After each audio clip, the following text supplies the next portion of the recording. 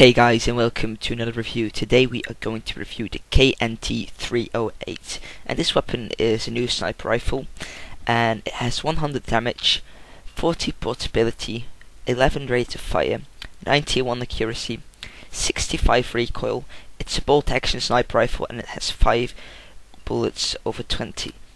This weapon compared to the Arctic Wolf, it has the same damage, it has the same portability, it has one more rate of fire, has one more accuracy, has the same recoil.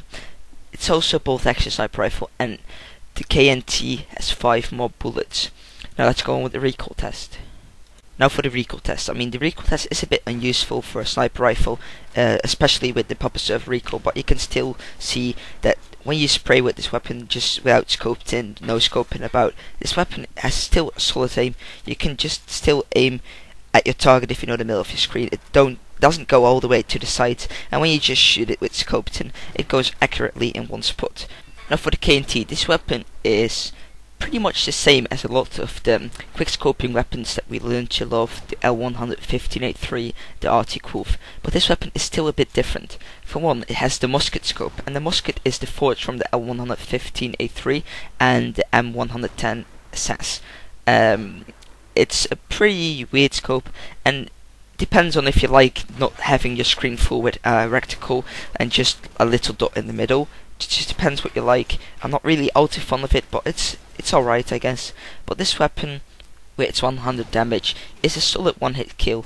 It can tank. I've only had two tanks in the so many kills I made with it some 100 damage sniper rifles do tank a lot, this one doesn't, and it's really useful in also across the map in Kill Creek because it will not have a damage drop off then it's of course it tanks a bit more, but it still doesn't tank a lot. And you can still shoot heavy fastest and one hit kill with it. And the 40 portability. The 40 portability is a bit above average I'd say because the average for a sniper rifle lays about the 35-40 um, it, it, really depends on the sniper rifle. It's so expendable that you can't really get an average for it, but the 40 portability is still quite fast for a sniper rifle. It's nothing special really, it's just the same as the Arctic Wolf. It's good enough to just rush with, but and it's not as bad as the one M107 with the 30 portability. Portability with sniper rifles is just whether you like rushing with snipers or not. Otherwise, you just run to your spot with a normal weapon and then pick your sniper and go camp with it. Um, for its 11 rate of fire, 11 rate of fire is really just one.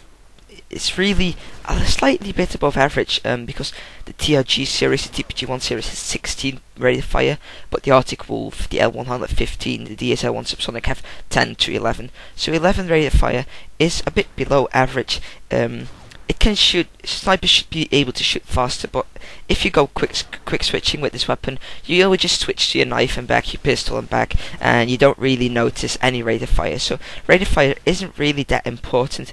Um, it only just goes when you try to no scope spraying, and whether you like that or not, rate of fire is important. But 11 rate of fire is below average, but it's still good enough, and it's still one point higher than the Arctic Wolf. Now for its 91 accuracy.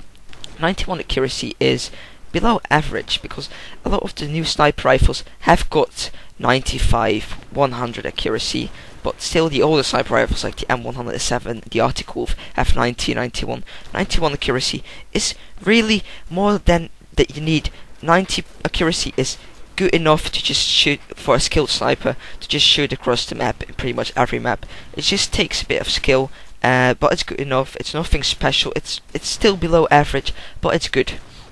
65 recoil. Well, 65 recoil is really average for a sniper rifle.